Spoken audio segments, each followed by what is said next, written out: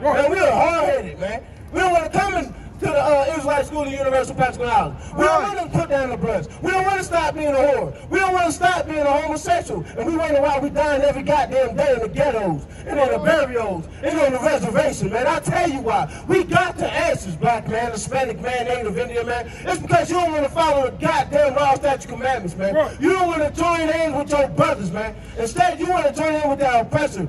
You got these sisters out here joining in with that oppression and getting beat down by that goddamn devil, man. Right. It's, it happened too many times after times, man, where that goddamn oppressor's beating that black woman up, man. But, or that black man.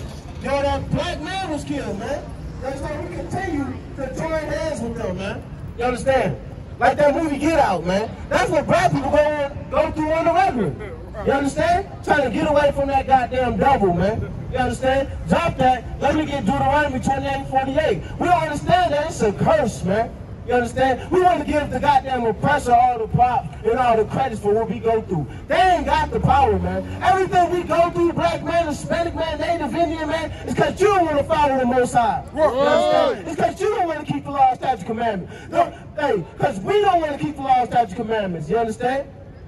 The goddamn oppression didn't bring COVID over here. You understand? The white man ain't that powerful, man. You understand? Just understand this. You ain't that guy. You ain't that guy. You understand? The Lord brought the plagues over here, man. That's He right. into Egypt, man. You understand? And the Lord's going to destroy America just like he destroyed Egypt. That's The right. crimes and the iniquity took blacks, Hispanics, and Native Indians, man. So Right. enjoy it while you last, man. You understand?